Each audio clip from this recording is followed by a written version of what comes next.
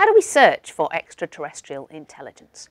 One of the methods is to listen out to see if they're sending any radio signals. But where should we turn? Our electronic listening devices. Our nearest star is Proxima Centauri.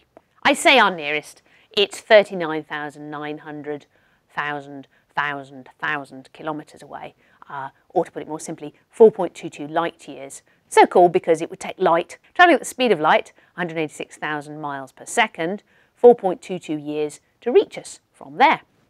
Which means that if aliens were orbiting Proxima Centauri and listening for our radio signals, they would hear what we were broadcasting 4.22 years ago, back in 2009. So let's hope they like Lady Gaga and the Black Eyed Peas. Or a bit further away, Vega, that's 26 light years away. So if they were listening, they'd be able to hear what we were broadcasting 26 years ago in 1987. So they'd be getting a bit of Rick Astley, a bit of Pet Shop Boys, uh, maybe a bit of early Madonna. And of course, they'd also be able to pick up television signals. So they could see the very first little fragments of The Simpsons being broadcast as part of the Tracey Ullman show. Or they'd see Sylvester McCoy becoming the seventh Doctor Who. Further away still, Polaris, the pole star, is 323 light years away.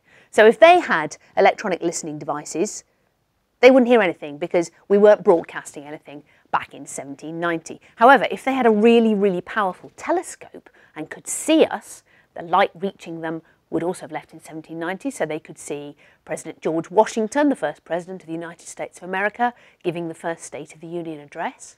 They could see the world premiere of Mozart's opera Così fan tutte in Vienna. Or they could see the British um, inventing shoelaces.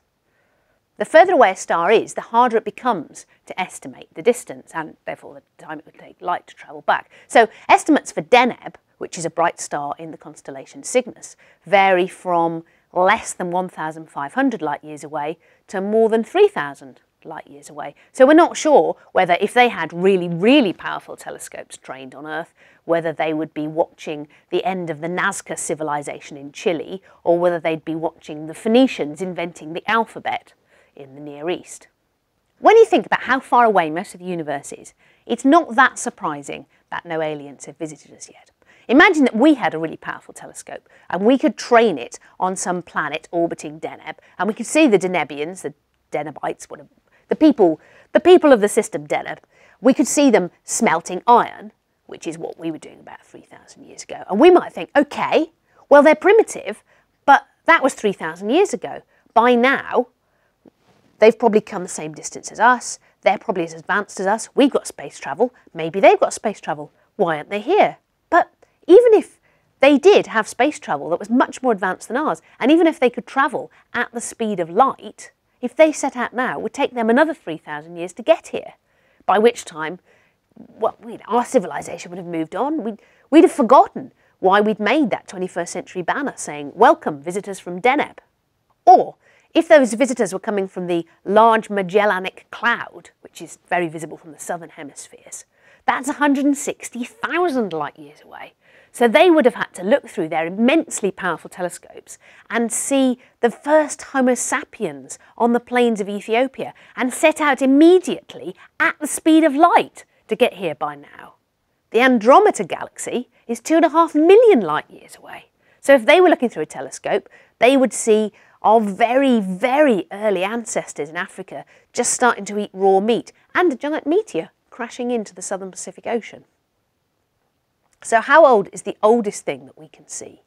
The furthest away object ever observed by humans is so far away that it was a galaxy just beginning to form 13.2 billion years ago when the universe had hardly begun. Now, if aliens are there were training back on us a telescope even more powerful than our Hubble Space Telescope, they, they wouldn't see us, they wouldn't see the Earth, they wouldn't even see our sun, none of that would exist. They'd just see our galaxy may be just about starting to form. So when you think about all that, it's really not that surprising that none of them have packed their bags and come to visit us yet.